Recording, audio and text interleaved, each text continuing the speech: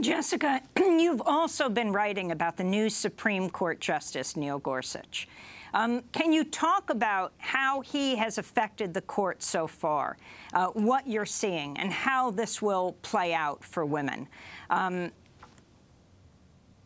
Absolutely. Um, Neil Gorsuch has made his mark on the Supreme Court immediately, and it will be a mark that lasts decades.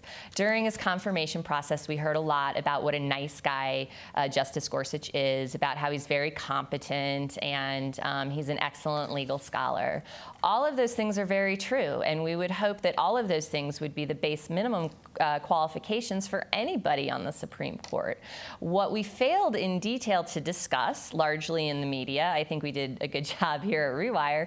But what we what we largely failed to discuss was the substance of his writings and when, and his career. And when we look through the substance not just of his writings but his career, we see some very conservative things. First and foremost, we see that he worked on torture and detention policy during his time at the D Department of Justice, which will become increasingly regular as the court hears challenges on things like the Trump administration's travel ban, um, the Muslim ban.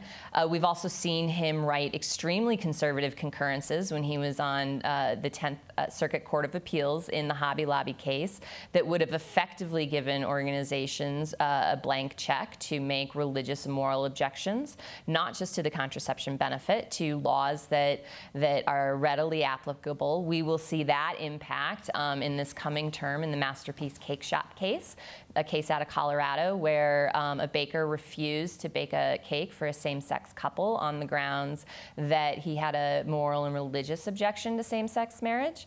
Um, and it wasn't just that he turned them away, it's that he explicitly said he wouldn't bake a cake because they were a cake couple.